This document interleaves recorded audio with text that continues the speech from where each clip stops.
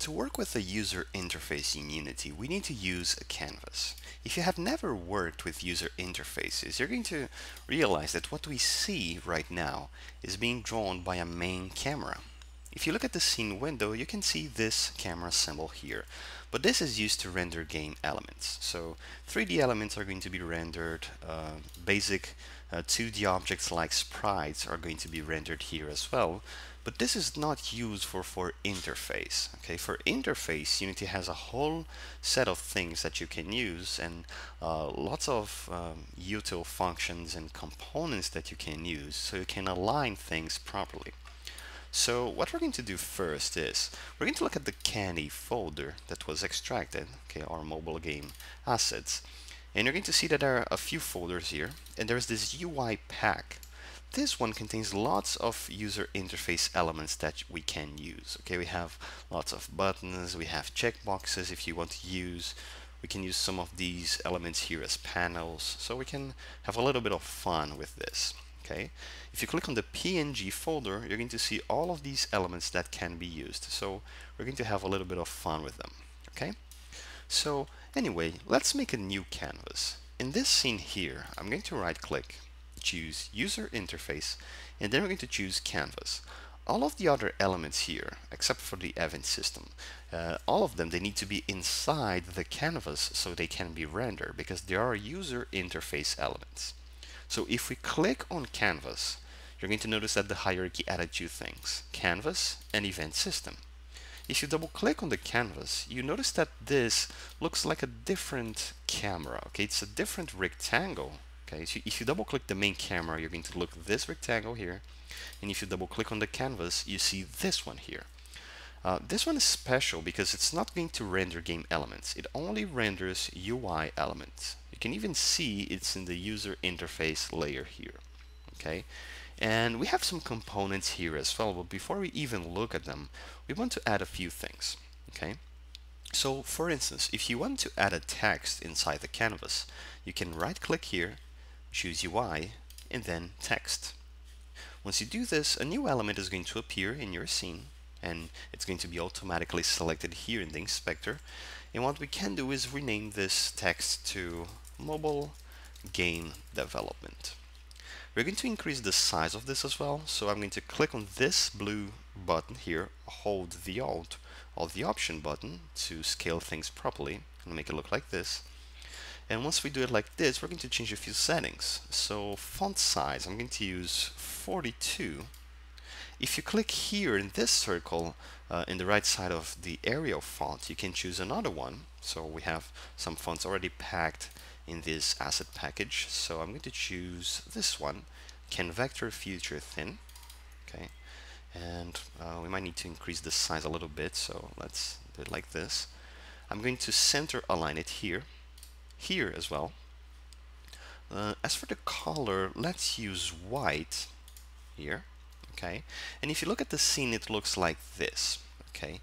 If you select the game window, you can see the text here in the middle, okay? But you notice that there are two things here. One of these things is this blue background is being rendered by the camera, okay? If you select the main camera in the hierarchy and look at the camera component, you see it look like this. If I click here, you can select uh, a dark blue or black color so it's going to look a little bit different okay? So it works like this perfect. Uh, and the text that you see here in the game window is rendered by the canvas. This is a very simple example just adding a very basic text text to this game okay? Right now in the game window we are in free aspect. If we go to 4x3 the text is going to be centered. It's going to fit here properly. And if it's if we use 16 by 9 it's going to fit properly as well. Let's go back to 4 by 3. A common problem, actually let's use 16 by 9. A common problem here is uh, some beginner developers, they make things, they don't, they don't care much about the size of these things. So for example, let's say the text was this large, okay, this big. And let's change the text here to mobile game development 2017 and let's say something else here uh, plus gold for example just some random text. If you look at the game window it's going to look great okay? The text fits here. The problem is if you make your entire game with the text fitting this entire screen like this, and let's say you generate a build, you, you test in an iPhone 8, for example, you see that it's looking great, then you submit to the store, uh, you're going to have a huge problem because if people with iPads play this game, they're not going to see this in a 16 by 9 aspect ratio. This is not the case. They're going to see this in a 4 by 3 aspect ratio. And this can be a deal breaker for you because the text now can't be seen completely. So this could be bad for your tutorials, this could be bad for your gameplay, some buttons might never be reached, maybe you can't pause the game, you can't press play, lots of things are going to be invisible to the player. So one very important basic thing that you have to care about is you have to develop your game thinking that it should be uh, visible in widescreen devices. Okay, so people with widescreen devices would see the game fine. But if you use a 4 by 3 aspect ratio, things should be visible as well. So what you need to care about is you have, let's move to 16 by 9, you have a visible screen. This is the maximum aspect ratio that we have, but we have another size here. We have another invisible rectangle. Okay, it's, it's a little bit of uh, theory here. It's like we have another invisible rectangle here that this is the area where everything should be visible. So for these kinds of games, it's important that you that you, you develop them in the shortest aspect ratio available for your target devices, of course. So we need to make this game always thinking about 4 by 3 okay so we can see things properly.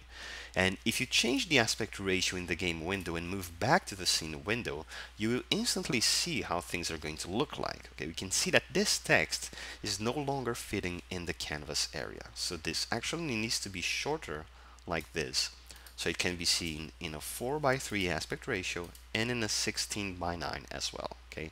This is the most important thing that you have to worry about right now Okay, now there's another thing. It, it, it's uh, it, this is actually kind of interesting. If you use this font size in your computer, it might look a bit different from you. Okay, from from what you're seeing here. This this text is occupying around 20% of the height of my screen. But if you're using a device, if you're if you're developing in a computer that has a, a, a smaller resolution, you might notice that the text is occupying a lot of space. Or if you are using a 4K monitor, for example, the text might look a bit tiny. So there's another tip that I can give to you is if you want to see, if you want to test different resolutions, not just aspect ratios, you can click here in this button and choose maximize look what happened. Okay, this is a it's a bit uh, difficult to understand at first, but once you you realize, you're going to notice that this is also really important. The text is now really small. Actually, the size of the text has been preserved from what we've seen in the non-maximized screen. Okay, the size is the same, but if you look at it relatively to the screen, it's much shorter. Right now this text occupies around 20% of the screen and if you maximize it's occupying like 10% of the screen. This is another deal breaker for some games because if you play a game in an iPad 2 for example, the iPad 2 has a resolution of 1024 pixels of width and 769 pixels of height. But if you use this in an iPad mini 4 or in an iPad Air or even in an iPad Pro, things are going to look really, really, really tiny, really tiny. Okay, I can't stress this enough. So it's another thing that you have to care about. And for this, Unity has something pretty interesting built in for us. I want you to look at the canvas game object right now in the hierarchy. Once you select it, we're going to look here at the inspector we have a few settings, we have a few components here. We have the canvas component, which is fine. We have the graphic raycaster, and we have the canvas scaler, which is pretty important for what we are going to do. If you look here, the UI scale mode right now is constant pixel size, okay? So pretty much nothing is going to be changed if you if you resize your screen, okay? The, the size of the text is going to be the same, okay?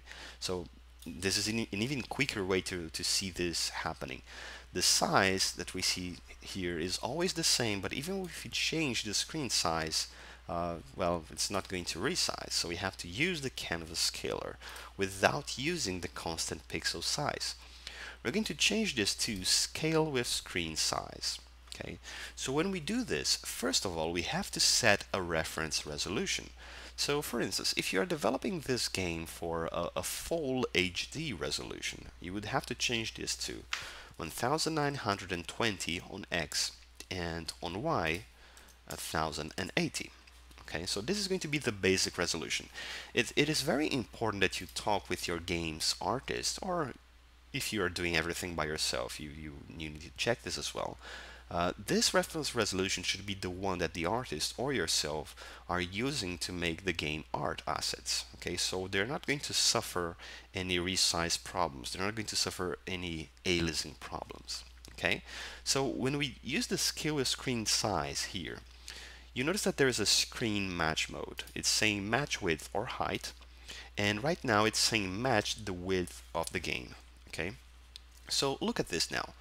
Right now we're using a 16 by 9 aspect ratio. If we change to 4 by 3, the text is still shrinking. The thing is, the way we are developing this little test scene here is the game is landscape. Okay, the, the game works in a landscape mode, so that means that the horizontal resolution is larger than the vertical resolution.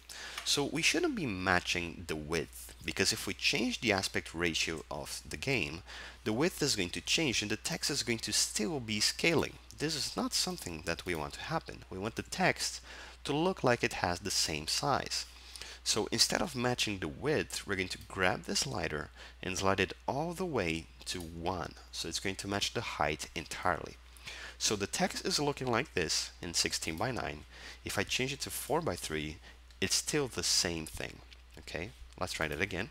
16 by 9, and then 4 by 3. And what if I change the resolution of the screen? The text is going to be scaling along with the screen size. So if it's a really uh, short screen size, the height of this text is going to look like this. If you work on a bigger resolution, it's going to look like this, occupying roughly the same percentage of the vertical area. If you maximize, it's going to scale up. Okay, this is very important because this is consistency. You need to, to worry about making the same experience, okay, roughly the same experience independently of what this of what devices players are using. It doesn't matter if they're using a high resolution uh, devices, low resolution devices, things should look roughly the same. This is really important for you to care about. Okay?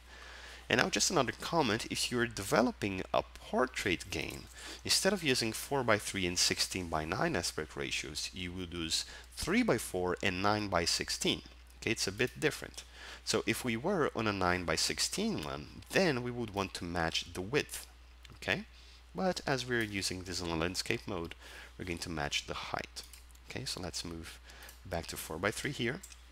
Okay, so you see something really simple here. We're just adding a text and we still have a lot to talk about. These are really important concerns for you. Okay, so you have to define a reference resolution depending what devices you're targeting for your game to work. You need to set the screen match mode to match width or height and make everything match the height. And once you're done with this setup, you can go back to the scene window and resize this text if you want. I'm going to give it a little bit more area here I'm going to increase the font size as well to 62 and I'm just going to use mobile game development okay like this. So something even simpler 4 by 3 16 by 9 everything is working fine okay? So in the next video we're going to talk about another user interface concern. Uh, we're going to talk about anchoring. So at this point what I wanted to do is, uh, in, a, in, an effort for you not to lose the work you just had, we're going to the project folder here in assets. I'm going to create another folder called project. And inside project, another folder called scenes. Okay, so create folder, scenes. We're going to enter the scenes folder. And now in Unity, we're going to hit Ctrl S or Command S or File, Save Scene. Once we do this, we're going to our browser here, mobile game development, assets, project, scenes, and then I'm going to save this scene as just UI. Once we hit save, our scene is going to be saved here. And after every lesson, let's remember to save this scene so we don't lose anything. Okay? So let's move on to the next lesson.